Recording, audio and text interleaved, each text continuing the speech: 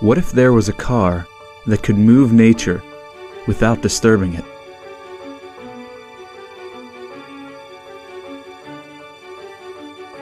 A car that gets smarter with age. A car so revolutionary that it enlightens you.